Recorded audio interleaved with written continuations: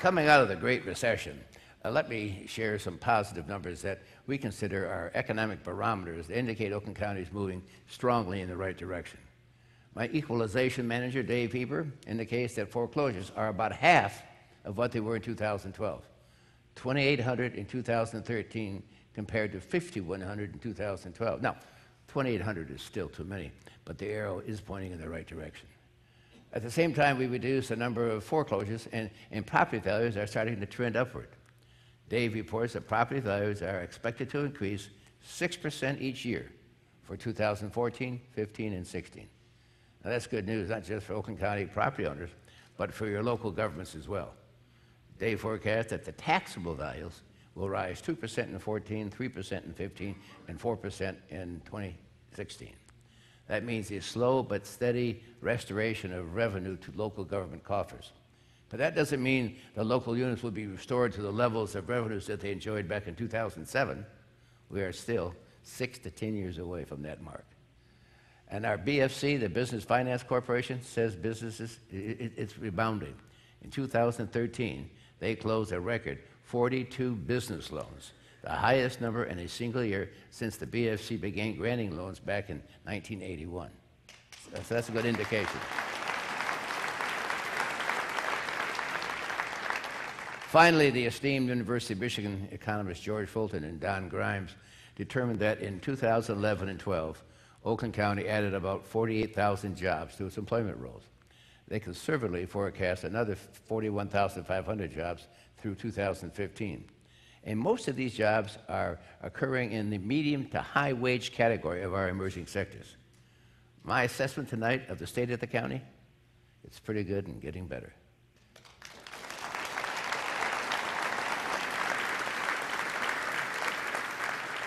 To the extent that I have good news to report this evening, much of that is made possible because we are creating jobs.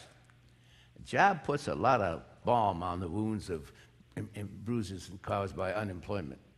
Individuals with jobs can pay their bills. They can go shopping. They can buy a car. They can, they can pay taxes. They can spend money any way they choose within our community that improves all of our qualities of life. One of the areas where we see phenomenal job growth is in our second largest emerging sector. That's communications and IT information technology. Now, healthcare easily holds down the first place. I launched the emerging sectors back in 2004 to diversify our economy and attract and retain the sustainable, high paying jobs within the knowledge based economy, not only in IT, but also in healthcare and advanced manufacturing and finance, just to name a few. But there are a total of 10 sectors in which my Department of Economic Development and Community Affairs, led by Deputy Matt Gibb and Director Irene Spanos and Deputy Director Dan Hunter, work feverishly to diversify our economic base. We had all our eggs in one basket when the recession hit. That was a hard lesson to learn. And, and the lesson is you must diversify. That's what we're doing.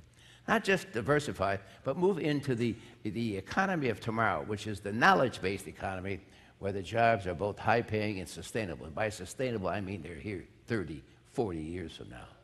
Since its inception in 2004, 258 emerging sector uh, companies have invested more than 2.6 billion across these sectors, creating 30,000 jobs and retaining more than 14,000. That's 44,000 jobs for which Oakland County's Emerging Sectors Program can take a bow since it had a direct hand in creating those opportunities.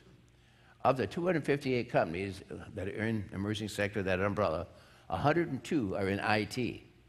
They've invested $572 million, creating almost 10,000 jobs and retaining over 5,700 jobs.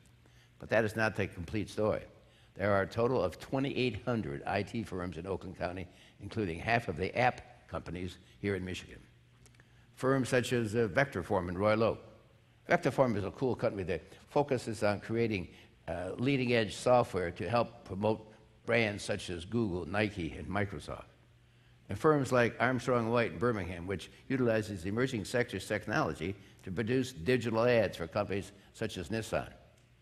Of course, when we see activity flourishing within a particular sector, we take a closer look at it to discover what we can do to build upon that strength. About 20 IT companies from Pontiac to Royal Oak to Southfield to Ferndale have banded together to create an IT focus group called Oak Tech Connect, which will be modeled after Medical Main Street and Automation Alley. The idea will be to leverage our growing strength in IT to attract more IT companies to the region and promote ourselves as a premier destination for the onrushing digital age.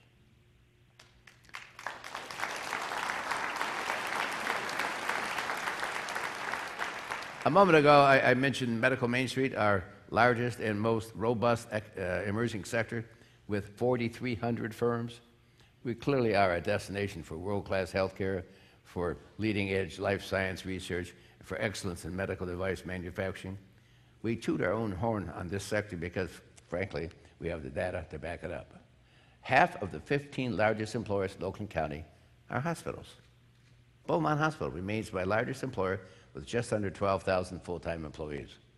Since its inception in 2008, 38 companies have joined the ranks of Medical Main Street, investing nine, over $900 million in creating over 5,000 jobs while retaining an additional 1,000.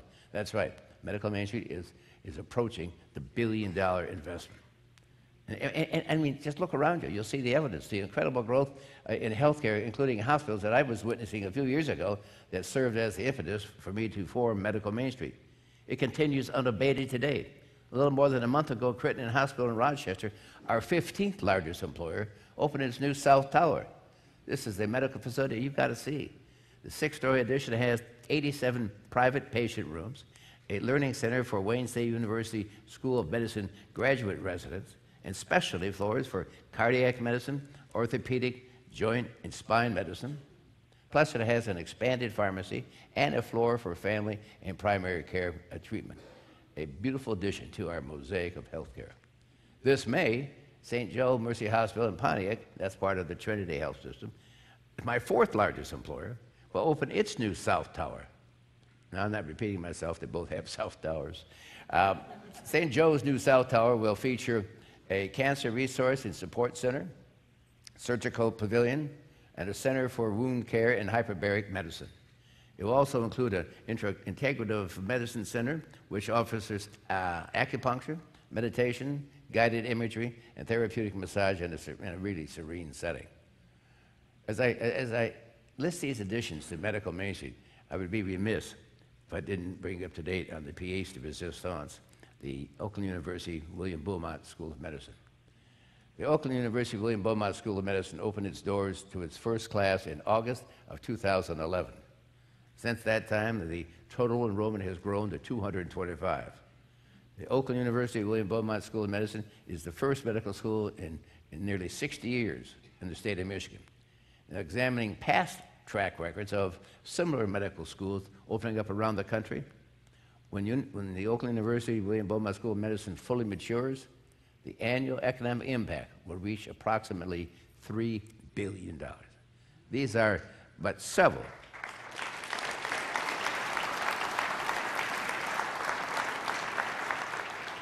These are but several of the continued expansion of healthcare in Oakland County. The untold story of medical Street, however, is our thriving medical device manufacturing and the success of our new uh, Innovention Conference.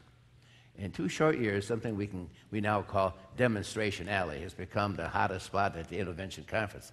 That's where medical device manufacturers show off their products, either current or, or uh, prototypes, to, to the attendees. Our first Innovention Conference in 2012 produced a notable business relationship, which is yielding outstanding results just, in, just this one year later. Our Medical Main Street team connected Royal Oak Medical Device with a company called My4 Spine Company. Together, they are creating new spinal devices which are used primarily in non invasive spinal surgery. The partnership is thriving and blazing a trail in medical device manufacturing. The Royal Oak Medical Device recently relocated from Oxford to Rochester Hills. And did you get that? Back it up, Joe. The Royal Oak medical device manufacturer moved from Oxford to Rochester. I don't know where the hell Royal Oak comes into this thing. Uh, I'll have to get back to you later on that. Our, our, Medical Main Street team, led by Dave Schreiber, is already preparing for next October's Innovention Conference. This one will be at the Suburban Collection or Showcase in, in Novi. It will take place October 21 and 22.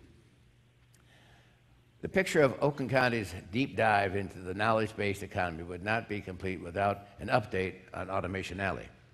Announced in my 1997 State of the County address and, and launched in 1999, Automation Alley now has 1,000 members, which uh, span eight counties in the city of Detroit. It has become so successful in, in, in promoting our region as a high tech hub and at the same time growing into the Midwest's largest technology business consortium that Automation Alley in just one more year will be spun off and become independent of the financial support from Oakland County. Now, this is remarkable, I think, sign of our success. The, the entity, which began with just 43 companies, has become so large and regional enough to stand on its own. My first major economic diversification initiative has come of age, and my baby has grown up. And the person who has nurtured Automation Alley from its humble origins to today's 1,000 member, globally recognized powerhouse is my driven deputy, Ken Rogers. Nice job, Kenny.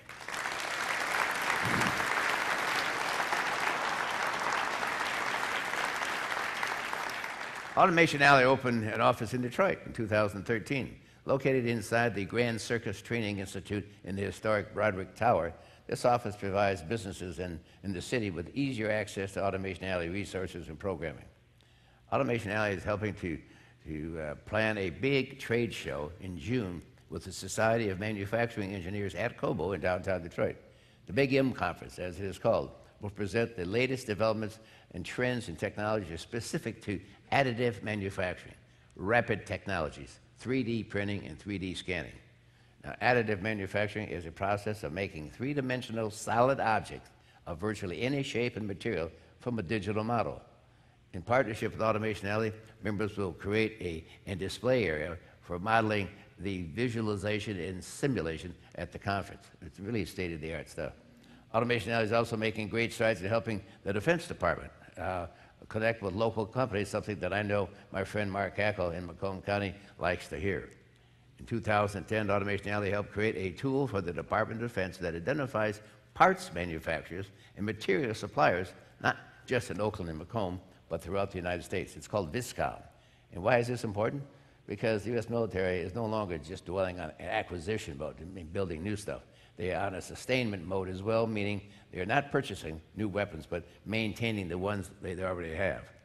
It is vital for the defense procurers to have immediate access to manufacturers who can help them replace parts on weapons and other defense systems. There are over 29,000 manufacturers from across the nation in Automation's Alley's VISCOM database today, and they are vetted and ready to help out the men and women who defend our nation. Of those 29,000 manufacturers, more than 4,000, or 14%, are right here in southeast Michigan.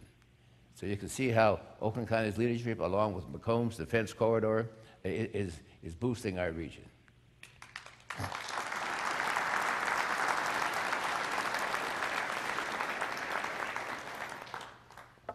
Damn, it's just water. Uh, the next announcement that uh, I'll make tonight may well be the biggest news uh, of the evening. Uh, as you know, Oakland County has always prided itself on attracting the best and brightest in the region. For example, look at our 40 under 40, look at Medical Main Street, emerging sectors, all focusing on the knowledge based economy. We, we are setting a record of success as technology trailblazers. Well, tonight, I'm delighted to announce another technology first for Oakland County.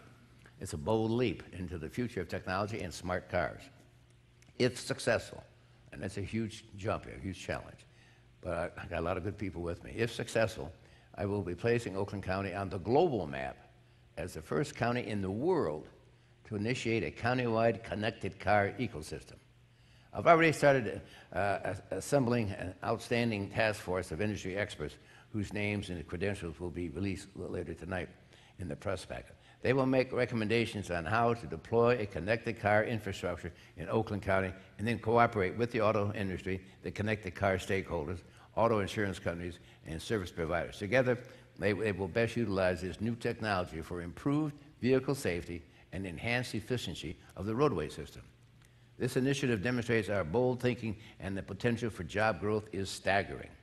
I think we all know that Michigan is where the, the next generation of the automobile is being invented, and Oakland County is the, in the forefront of that innovation. There's a push on now to further develop the connected car infrastructure. The U.S. Department of Transportation has jumped in with financial support through grants and is pushing for the deployment of research and development test zones. One such such test zone was in Ann Arbor. There are also private companies engaged in the same effort to develop this new technology. And I strongly believe that we have the opportunity here in Oakland County to build upon the, the research that has already been done so far and deploy the technology in a countywide connected car ecosystem. In basic terms, a connected car will be able to transmit data about the vehicle and the location to other cars and to the road infrastructure. These transmissions, known as heartbeats, will be able to send the location data that will dramatically reduce auto accidents as, as well as assisting emerging, emer- emergency responders during an accident or a crisis. The time is now for industry experts to deploy a connected car, uh, and we think we can make that case that it should be done right here in Oakland County. Look at the map on the, on the, behind me. Each red dot represents a technology company which has the talent and the expertise to help build out this system. Each one of those companies will be contacted and interviewed in the very near future to see what role they are prepared to play in this build out. Now, when people think of autonomous cars, they immediately think of Google. But when people think about connected vehicles, they will be thinking about Oakland County. Our history has been first in cars, and, and with this initiative, will be first in connected cars. In technology terms, they will call us early adopters.